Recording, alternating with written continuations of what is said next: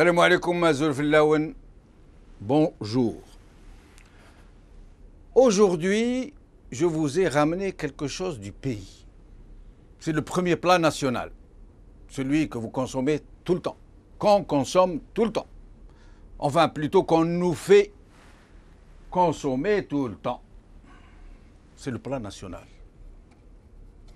Approchez. On va partager. Approchez, approchez encore, approchez.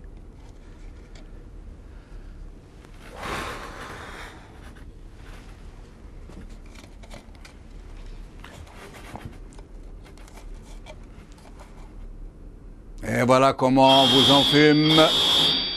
Oh là là, on va voir les pompiers sur le dos. Oh là là.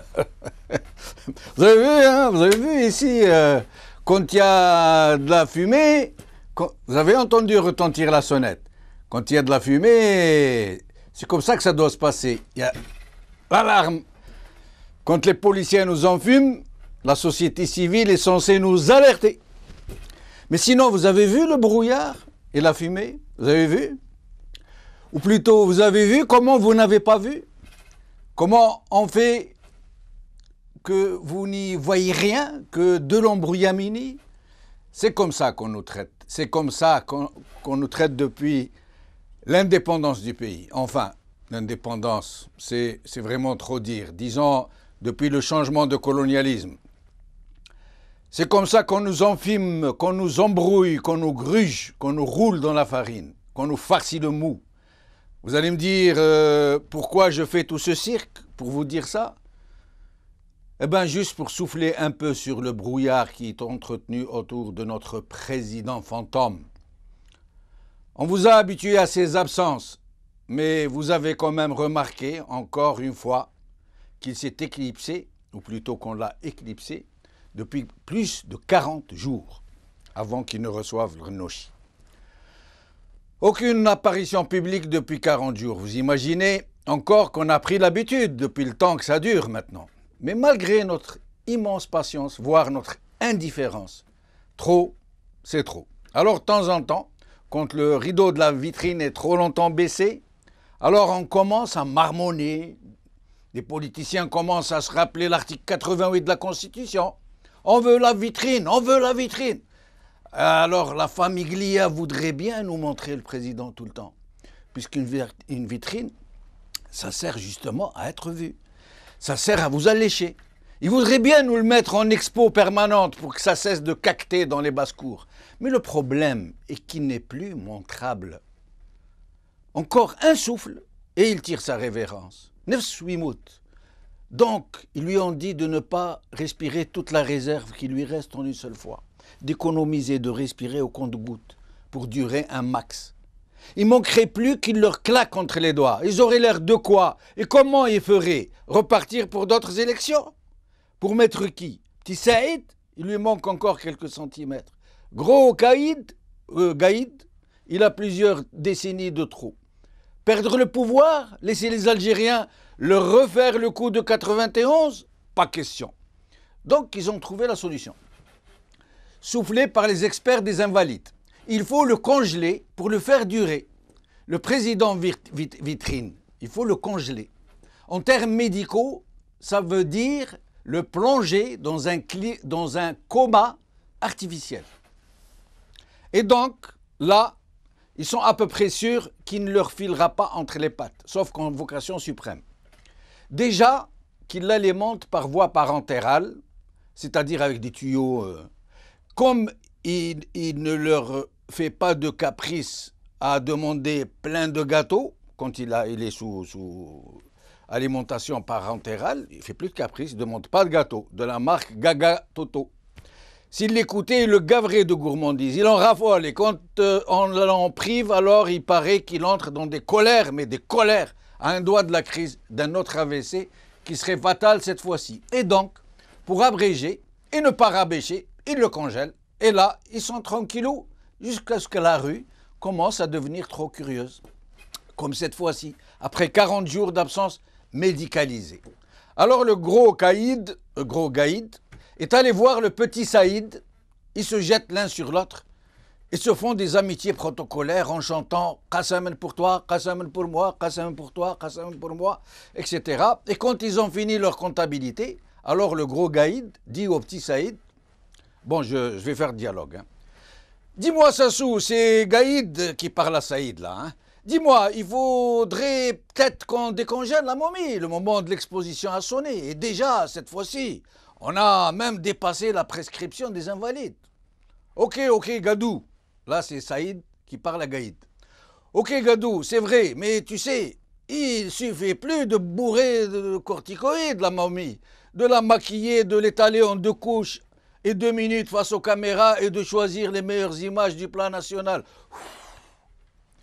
Le Rachid, il n'y croit plus. Il nous faut trouver une personnalité internationale pour cautionner les images.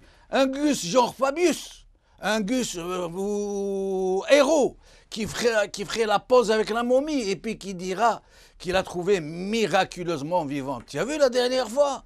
Le Premier ministre français, quand il a fait ça, ça a marché du tonnerre. Mais personne ne veut plus se mouiller maintenant. Ils disent que c'est trop gros, que, ça se voit que c'est un fantôme, que tout le monde a compris, et qu'ils ne veulent pas être accusés demain d'avoir participé à arnaquer tout un peuple de façon aussi grossière. Alors, Gadou, hein, le gaïd qui parle, ah bon? Ils veulent plus? C'est embêtant ça, hein. Ah mais il y a notre témoin de service, le brave Ganouche. Attends, tu vas voir, je vais l'appeler tout de suite.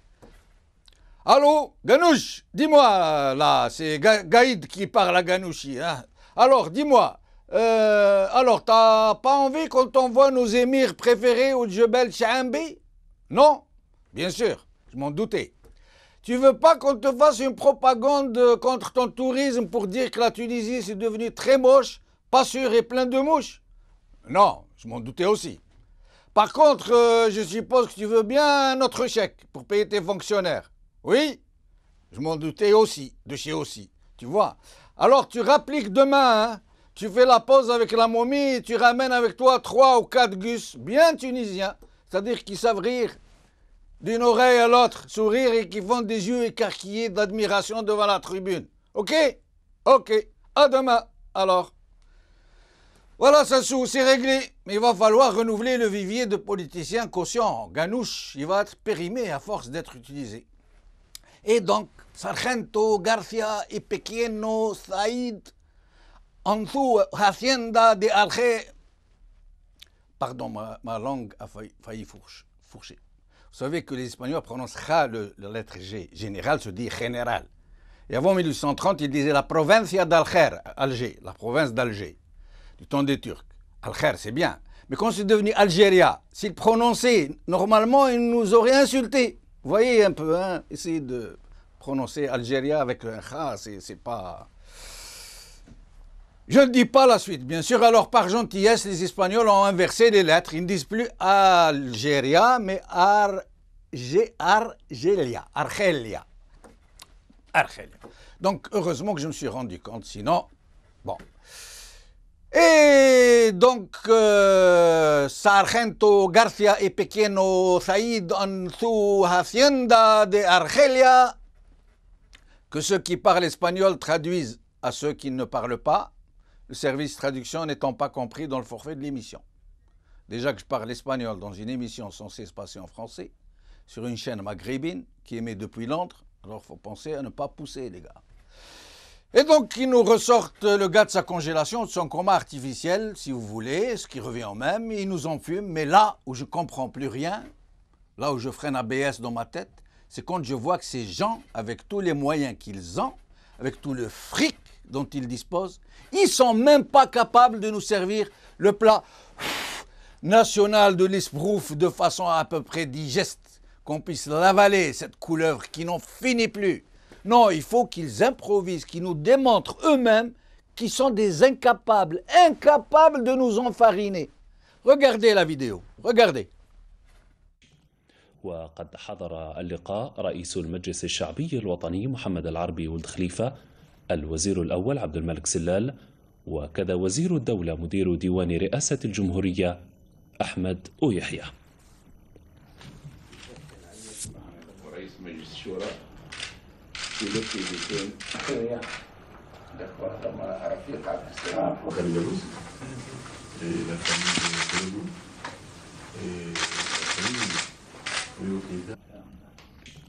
وقد حضر اللقاء رئيس المجلس الشعبي الوطني محمد العربي ولد خليفة الوزير الأول عبد الملك سلال وكذا وزير الدولة مدير ديوان رئاسة الجمهورية أحمد أويحيى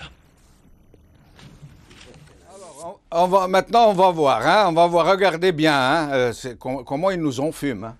Là, les Tunisiens qui rient, qui sourient, ils sont tout contents. Et là, on nous montre de, euh, en gros plan. Regardez le bouquet à sa droite. C'est un bouquet de roses roses. Vous voyez bien. D'accord Et là, regardez le bouquet qui est entre eux. C'est un autre bouquet. C'est-à-dire qu'il. Là, de, là c'est gros plan. On voit Bouteflika de près. Mais quand il est de loin, c'est une autre image, c'est une autre scène. Ça n'a rien à voir. Là, il ne nous montre pas. Là, il montre Ganouchi de gros plan, mais Bouteflika en gros plan. Dans cette entrevue, il ne le montre pas. Il ne le montre pas. Il montre une photo d'archive. Voilà, là, il le montre de loin. Vous voyez, il ne s'approche pas de lui.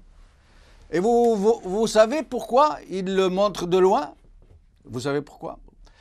Parce que de loin, il n'est plus présentable. Il n'est plus présentable. Le, euh, vu de près, notre président est complètement débranché. Ils ne peuvent même pas vous le montrer de près, parce que c'est horrible à voir. S'ils ont préféré trafiquer l'image de cette façon de bricoleur plutôt que de nous le montrer en gros plan, c'est parce que les Algériens seraient choqués de le voir dans le véritable qui est le sien, celui d'un grand malade qui n'a que de très rares moments de lucidité, incapable de comprendre ce qui lui arrive, dont le visage est ravagé par la maladie. Ils ont vu revu les images, essayé de sélectionner la meilleure, mais pas possible. Il n'est plus présentable. Même sorti du congélateur, ses fusibles grillés continuent de fumer. Et personne n'a pitié de lui, pas même son propre frère.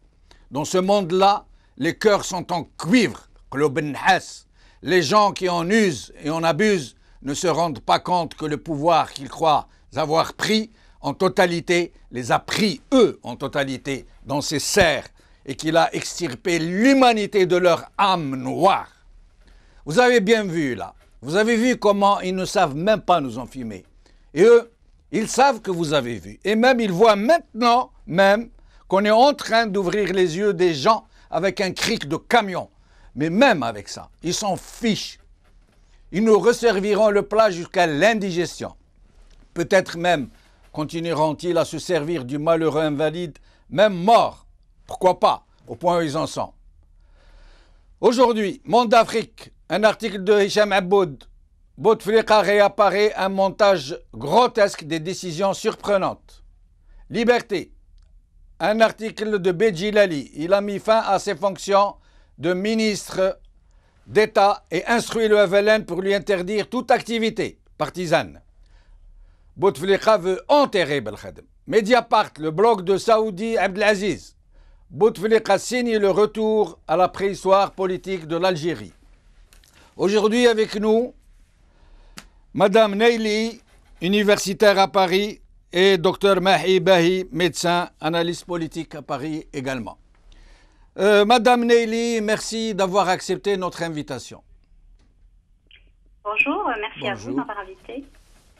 Alors dites, dites, dites-moi, Madame Neili, euh, qu'est-ce que vous en pensez de, Quel effet ça vous fait Oui, bah, écoutez, euh, déjà merci pour cette introduction, mais très très perspicace. En fait, après les séquences qu'on a pu visionner, je ne sais même plus si on peut encore appeler cela une vitrine, entre guillemets quelle idée de vitrine en tout cas. Il ne faut pas être médecin pour voir que le président Bouteflika est très affaibli physiquement, mais aussi mentalement. Son regard est absent, euh, très symptomatique d'une personne euh, gravement atteinte, les yeux écarquillés. Euh, Bouteflika n'est pas seulement paraplégique, contrairement à ce que prétendent ses fervents défenseurs, c'est même extrêmement secondaire cet handicap. Il ne dispose plus de ses facultés mentales et c'est là où réside le drame pour un président. Vous imaginez un peu? Exactement. Je crois qu'un jour, il faudrait euh, carrément juger son propre frère pour non-assistance à personne en danger. C'est une honte. C'est même proprement choquant compte tenu de, de, nos valeurs familiales, de notre propre culture, de se servir de son frère de cette façon-là. La vérité est pourtant connue de tous.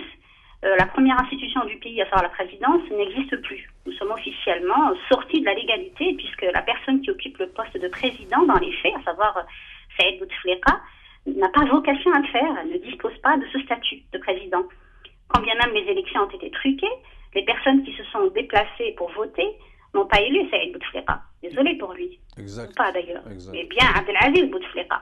Bouteflika, Abdelaziz, quoi qu'on dise, il a, ou en tout cas il avait une certaine légitimité auprès d'une frange de la population qui lui attribue le retour à la paix, la prospérité, entre guillemets, ce qui est perçu comme tel, comme la construction de logements, les salaires. Mais Saïd, lui, il n'en a aucune légitimité, sauf celle euh, d'être le frère. Par ailleurs, pour les, forces occidentales, désormais, l'État algérien, vu cette, cette absence finalement d'État, passe pour être euh, un État qu'il qualifie vraiment de pirate, hein, euh, complètement irrespectable. C'est vraiment sur cette base qu'il nous traite. Le crash du Mali a révélé au grand jour comment un État censé souverain peut être tout bonnement court-circuité. Un avion algérien, des victimes algériennes, le crash est africain, et tout le reste se passe en France. Qu'est-ce que ça veut dire? En qualité de quoi? Donc on va doucement, mais, très certainement, vers, euh, vers la destruction totale de l'État algérien et même de la nation si rien ne fait. J'aimerais que nous vraiment que nous nous rendions compte de cela. Voilà ce que je pense de, de, votre question. Dites-moi, Madame Neili, euh, euh, quand on lit la presse ou quand on entend des politiques, on entend dire Bouteflika fait ceci, Bouteflika a relevé Belkhadem, Bouteflika a assassiné, a tué la vie politique de Belkhadem, il a désigné euh, X, Y, Z pour le représenter à New York, il a nommé des ambassadeurs. Euh, le, le, comble, on sait tous qu'il ne fait pas. Mais ce qui, ce qui est choquant, c'est que tous les journalistes reprennent ces, informations sans les remettre en cause, les politiciens aussi, comme si c'était vrai. Ça s'est banalisé. Oui, en fait, c'est inquiétant, comme vous dites, c'est certain, mais ce n'est guère surprenant. La presse euh, la plus libre de ce qui était autrefois appelé le monde arabe, il faut rappeler qu'il n'est plus vraiment, oui. est coutumière de marteler des contre-vérités sur une longue durée. C'est une caution, il faut appeler les choses par leur nom. Il y a aussi les Occidentaux qui apportent leur caution, les Français notamment, à chaque visite, mais aussi la caution arabe, par le biais de Ramouchi par exemple, elles sont honteuses, il n'y a rien à dire. Oui. D'ailleurs, à ce sujet, vous, vous, avez fait allusion tout à l'heure au, au, propos de Jean-Marc Ayrault. Je fais rappeler que Jean-Marc Ayrault, l'ancien Premier ministre français, qui s'est dit, si je ne m'abuse, impressionné par le courage et Absol la mémoire absolument. de Bouteflika, Ab voilà, alors que nous savons qu'il n'en est rien. Et puis, entre nous, qu'est-ce que ça veut dire impressionné? On n'a pas à être impressionné par la mémoire d'un chef d'État censé être l'homme le plus puissant de son pays. C'est une insulte à tout un Ab peuple. absolument. Il s'attendait à quoi? Il le dit ouvertement comme ça, ça ne veut rien dire du tout. À moins qu'Hérault ait voulu dire, ou faire le malin plutôt, et que par courage, il a fait référence au courage, dans ce cas plus que certain, donc faisait preuve Bouteflika, pour subir de longues heures d'entraînement pour la production d'une séquence montée de quelques minutes, compte Ah. tenu de son état de santé. Absolument. À moins aussi que par mémoire, il faisait allusion à la capacité inespérée de Bouteflika, vu son état quasi, euh, quasi végétatif, de se souvenir de son texte, par exemple, qu'il devait, euh, qu'il se devait de réciter. Ce moment-là, oui, impressionnant a du sens. Autrement, ça n'a aucun sens. De- euh, tout ceci étant dit, moi je considère que cette caution ne vise pas la personne de Bouteflika, elle vise le système à travers euh, Bouteflika. À vrai dire, ils cautionnent et soutiennent très activement le statu quo.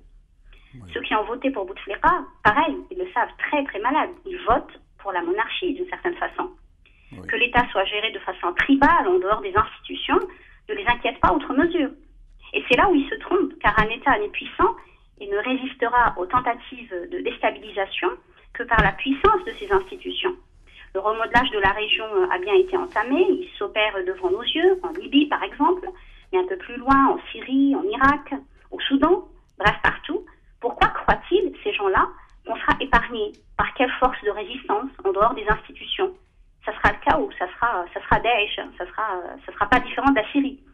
Donc j'aimerais que les gens un peu reviennent à la raison, car c'est vraiment plus possible de, de faire l'autruche plus longtemps que ça, en espérant que nous nous redressions avant que ce soit trop tard. Absolument. Merci beaucoup. Je vous demanderai de rester encore avec nous. Euh, nous allons recevoir le docteur Yassine Mahibahi. Euh, docteur, merci de nous avoir rejoints.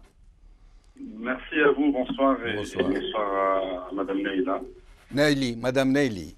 Madame Neili. Alors, dites-moi, docteur, euh, d'abord votre avis de médecin euh, au sujet du grand malade, du grand invalide. D'abord, il y a deux volets dans cette histoire, dans cette affaire. Il y a le, il y a le, il y a le volet de la fonction et il y a le volet de la personne. En tant que médecin, bien sûr qu'on sait tous que euh, sur le volet de toute personne, chaque personne peut décider de ce qu'elle veut ou non révéler de son état de santé. Donc le respect de la vie privée et le secret médical sont deux droits fondamentaux de tout patient. Et le secret médical s'impose à tout médecin dans ce cas-là. Ça, c'est pour toute personne. Mais nous sommes face à une fonction qui puisse être la fonction présidentielle. Donc c'est le président de la République de qui il s'agit. Et là, nous sommes face à un grand problème. Toutes les institutions de la République, alors peut-être la présidence de la République, vous avez montré la vidéo de l'Ardi Khalifa, qui est aussi quelqu'un qui est très malade, il faut le rappeler, qui est quelqu'un qui est atteint de cancer et qui suit des séances de chimiothérapie à Paris. Toutes les institutions de la République, la présidence à leur tête, sont devenues tout simplement, malheureusement, des établissements d'hébergement pour personnes âgées dépendantes, en gros des maisons de retraite. Nous voyons tous comment euh, le président de la République. D'abord, c'est pas un secret, le président n'est pas malade depuis quelques mois, il est malade depuis le 26 novembre 2005. Exactement. Il ne faut pas que les Algériens aient la mémoire courte. Exactement. le président, il est malade depuis son hémorragie digestive. Et un AVC qu'on nous avait caché, et un AVC en 2005 qu'on nous avait caché. Exactement. Voilà. Voilà. Donc, le président, il est malade depuis euh, presque 9 ans. Il n'est pas malade depuis hier. Aujourd'hui, le président, il fait une rechute d'un accident vasculaire cérébral.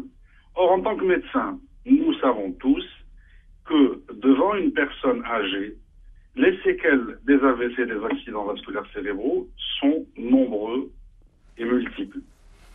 Premièrement, c'est ce qu'on appelle les démences vasculaires, post-AVC. Et c'est ce qu'on a en face de nous.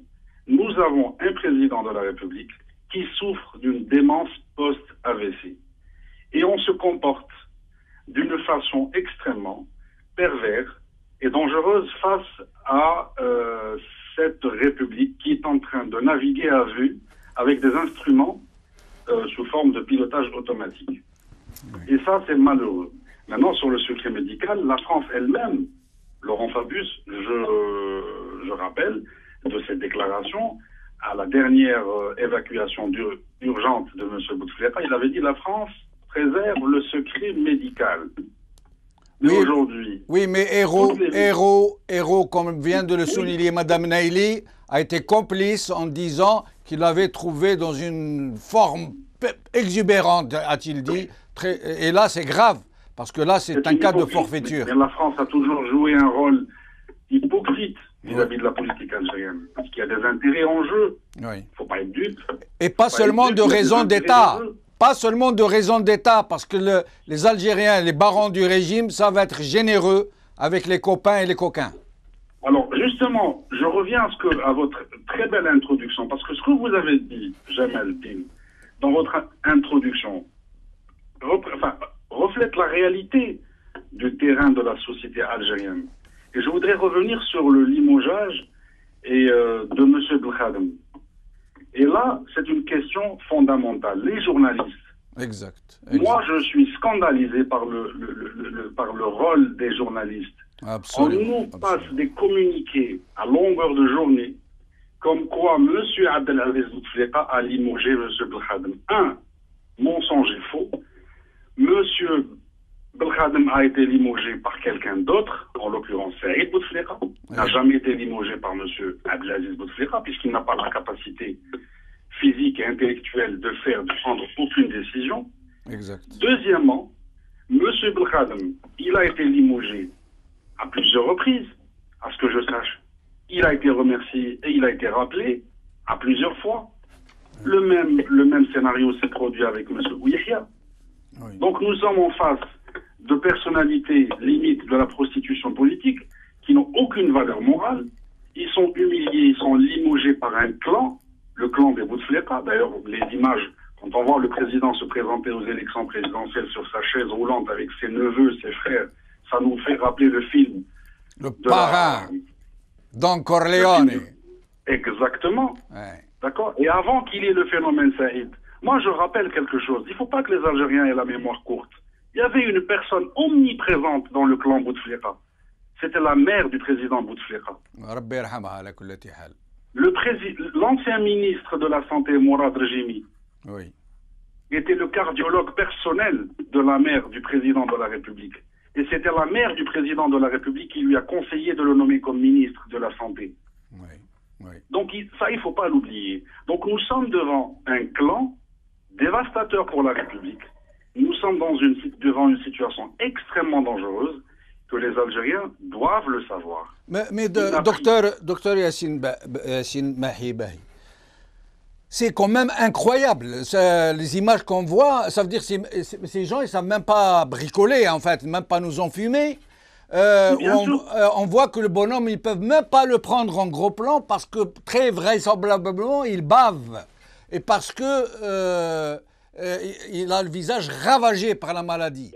Mais, mais pourquoi, pourquoi, qu'on m'explique, pourquoi toute cette classe politique qui se prénomme opposition, pourquoi tous ces universitaires, tous ces intellectuels qui disent activer, n'invoquent pas le, la nécessité d'appliquer l'article 88 de gré ou de force? Parce que là, ça, ça devient absolument hallucinant. Il faut que l'opposition, il faut que cette opposition, moi je n'y crois pas d'ailleurs à cette opposition qui existe sur le terrain, parce qu'il y a un laxisme de, cette opposition et des journalistes. Il faut, un, l'application de l'article 88, et avant l'application de, de l'article 88, il faut une réunion une commission de médecins experts qui doivent nous dire la réalité de l'état de santé du président de la République. Mais docteur, docteur c'est ça l'article 88. Le, le Conseil constitutionnel n'a pas l'autorité de décider de l'empêchement. Il a l'autorité de s'autosaisir pour désigner une commission de professeurs en médecine pour examiner le chef de l'État. C'est le rôle de l'opposition puisque le Conseil constitutionnel est lui-même a été désigné par le président, par le clan du président, nous n'avons pas d'institution légitime. Absolument. Monsieur, Monsieur Mourad Medelsi, je rappelle quand il était, euh, quand il était témoin dans l'affaire Al-Khalifa, devant la juge, il a bien déclaré que je n'étais pas intelligent dans une des affaires d'Al-Khalifa. Ce monsieur se retrouve président du Conseil constitutionnel. Quelle est la légitimité des institutions? Et ça, c'est le rôle de l'opposition politique et des journalistes. Moi, je n'y crois pas parce que toutes les institutions de, notre République ne représentent rien du tout, en commençant par la présidence de la République, le Parlement, le Sénat, et j'en passe. Mais ça, c'est le rôle de l'opposition.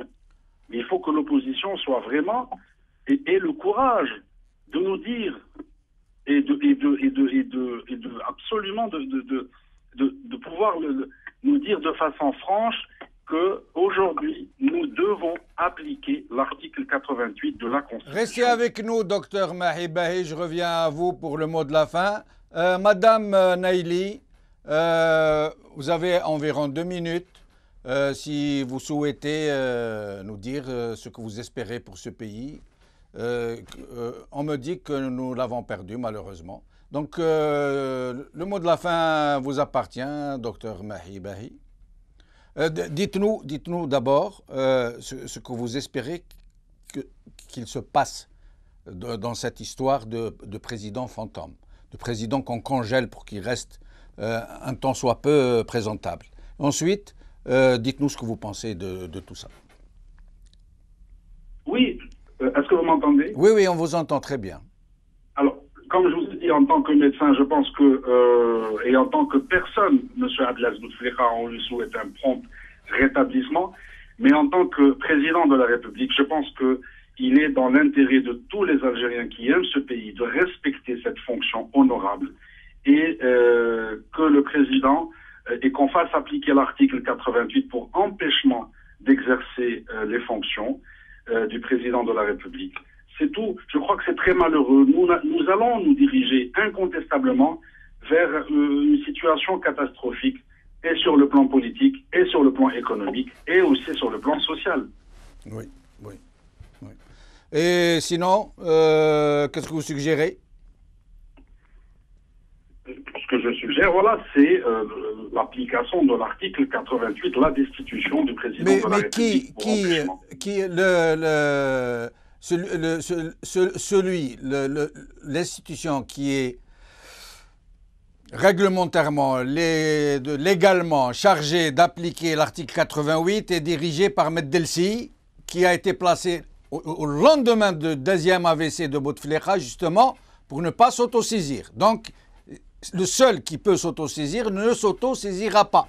Euh, donc, donc euh, il ne faut pas demander l'application de l'article 88, il faut demander autre chose. à, je ne sais pas, à la classe politique tout entière de se dresser contre cet état de fait, ou euh, à la rue de sortir, ou euh, moi je, suis journaliste, je ne peux pas me permettre de lancer des mots d'ordre, mais euh, il serait bien que des hommes politiques, des analystes, que des intellectuels s'expriment sur cette question, parce que là, on va droit au mur sur, une- euh, à 100 à l'heure, là. C'est, on va se cracher. Absolument. Ouais. Absolument. Alors, le- le- le- que la rue sorte, je n'y crois pas. Euh, je pense pas que ça soit aussi une solution. Je crois que c'est le rôle de l'opposition. Et malheureusement, il y a un phénomène qui est très important. Euh, et ça, il faut le savoir. Nous dépendons, nous dépendons des volontés de l'Union européenne et des États-Unis d'Amérique. Ça, c'est une réalité. Nous Oui. sommes, l'Algérie est devenue, si vous voulez, euh, voilà, il y a des intérêts. Euh, on sait tous, il y a un laxisme de la part de la France, des États-Unis. C'est à nous, à l'opposition, c'est au peuple algérien de prendre les choses euh, en main, mais de façon, bien entendu, intelligente et pacifique. On ne demande pas à ce que les gens sortent dans la rue. Je ne crois pas que ça soit une bonne solution. Et je crois que l'opposition. Pourquoi, si c'est, si c'est, pourquoi, si c'est de manière pacifique, organisée, euh, une, contestation politique du peuple algérien, pourquoi ce ne serait pas souhaitable? Ce ne serait pas Parce que le- souhaitable que ce soit violent, que ce soit. Parce que le régime, parce que le régime n'a jamais respecté les lois. Oui. Parce que Bouteflika n'a jamais respecté les lois. Bouteflika n'est plus là de toute façon. Pardon? Bouteflika n'est plus là. Oui, mais il y a toujours derrière lui euh, son clan qui Oui, est là. un vrai. régime qui est là, un régime qui occulte. Merci. Merci, merci docteur Yassine Mahibahi, en espérant vous revoir bientôt. Cette émission est maintenant terminée. Euh, à demain, j'espère. Merci.